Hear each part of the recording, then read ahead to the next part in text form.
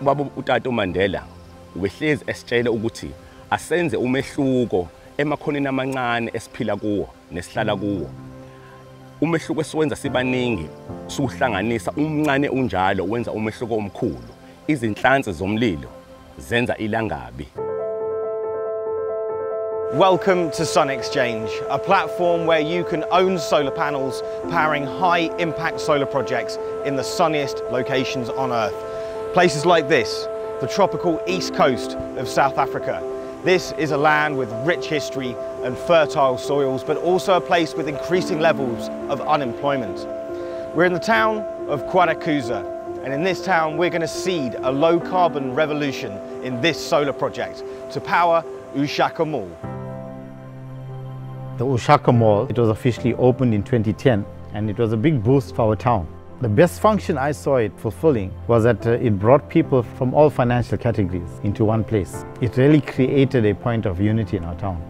Bringing solar panels and solar energy is going to create opportunities because it's going to cut our overheads down. It's going to help people realize that there are other ways out. And the best part of it is we are using the sun for it. The history of this town has been farming. But due to climate change, due to the impact that all of this has had on the economy, on the ground itself, when the farms began to decline, they started selling up the farms. And as a result, those workers that are on the farm had to come into the town to start to seek employment to survive their families.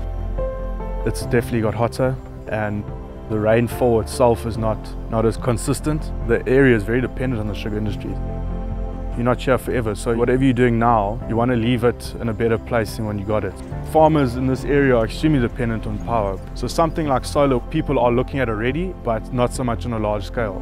We have a vision of being a city in 2030, but we want to go with the new concept of going solar we actually use a lot of energy, we lose a lot of energy also. So there we do have a challenge.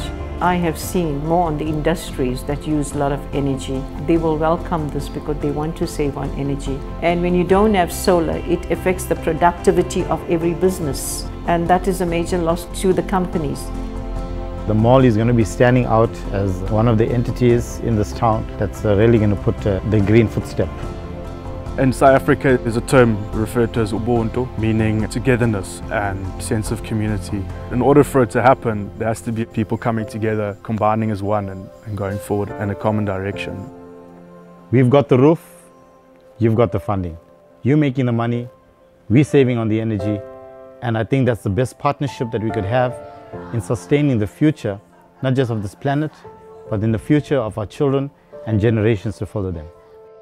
Each solar cell for this project costs just 67 Rand or around 4 US dollars.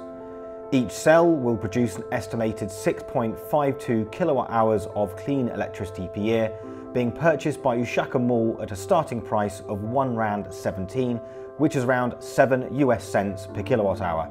This gives you an estimated internal rate of return of 12.41%.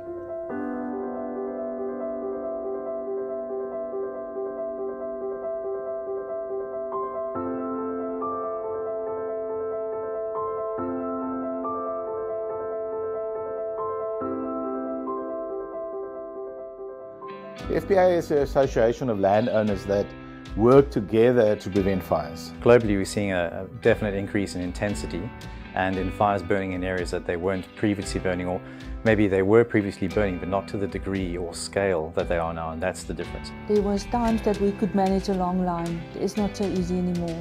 Prevention is my middle name.